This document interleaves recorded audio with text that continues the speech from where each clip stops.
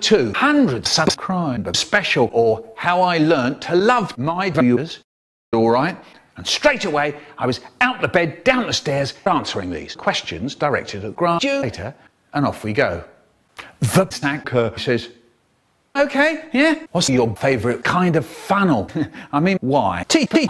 Story pools like a series of many parts of that is full of epic battles and huge plums like this. Hmm. Anyway, how many plums do you eat a day? More plums than there are tons in the universe. And how old is Haribo? He was born on the 7th of May 1984. I remember very well that awful day. Uh, actually, um, I was not there.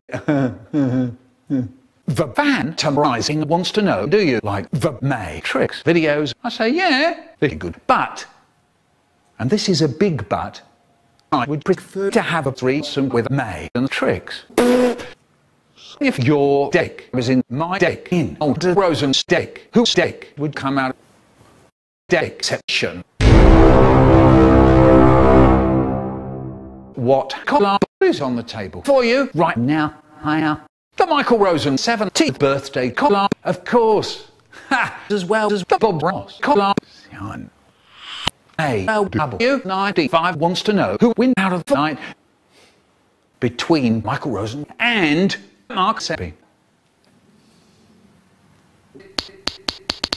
Who the fuck do you think would win, you fool? I am Michael Duck King Rosen. Anyway, Favorite you two pum kaboom kaboom kaboom kaboom kaboom kaboom. Captain Plums. Really good. He got me interested in pumping. I think you know what I mean.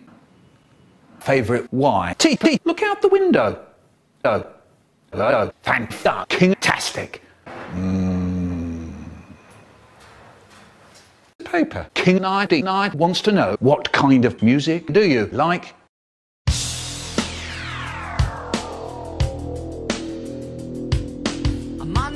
Rosen. Michael Rosen.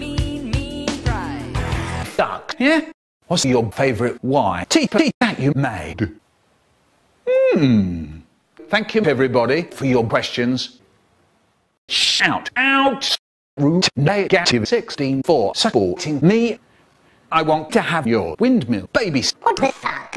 Okay, root, okay. Don't worry about it. Two, five, six, pounds it for helping me with Chris. Oh, my keeping ChickenPika for turning me on.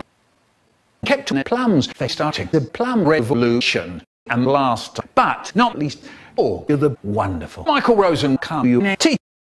Bye. Bye, everybody.